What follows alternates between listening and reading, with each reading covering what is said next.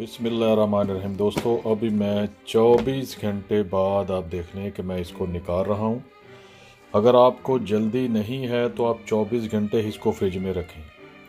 अगर आपको जल्दी है तो कम से कम दो घंटे तो इसको चाहिए ही चाहिए। अब मैं इसको ओवन में रखने वाला हूँ और यकीन करें, आप इसको एक दफ़ा खाएँगे, बना के आप मुझे दुआएँ देंगे। ज़बरदस्त बनता है यार, क्या टेस्ट है इसका यार।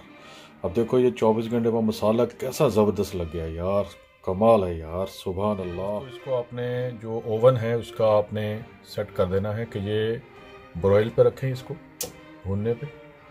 और उसके बाद इसका टेम्परेचर जो है ना, दो सौ ढाई सौ के, ढाई सौ के दरमियान रखना है आपने। ये देखो मैंने इसको ऑन कर रहा हूँ।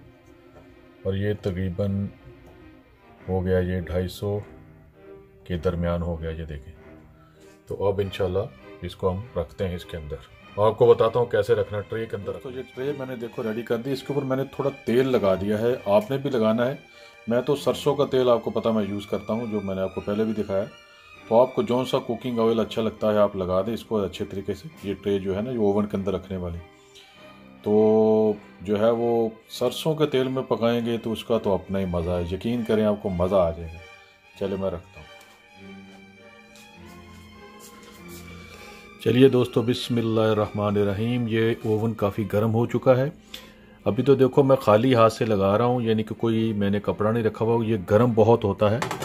तो आपने ध्यान से जब आपने निकालना है तो आपने या तो मोटे दस्ताने पहनेंगे आप तो या किसी मोटे कपड़े से आप दोबारा इसको निकालेंगे। ये मैंने रख दिया अब इन अब ये देखें। ये ट्रे थोड़ी टेढ़ी होगी, क्योंकि अंदर गर्मी बहुत है।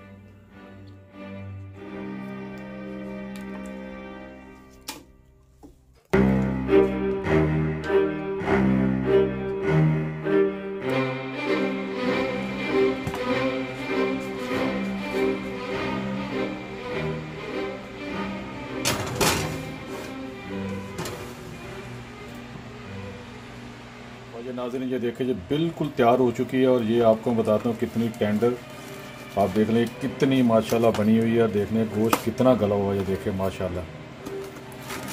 ज़बरदस्त होगा ये देखें आप। और ये देखिए, आपको जो काला काला नज़र आ रहा है, ये वो तेल है और मसाला इसकी आपने फ़िक्र नहीं करनी।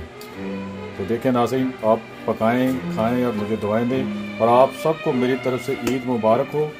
ठीक है, अस्सलाम वालेकुम और दसवीं दानी।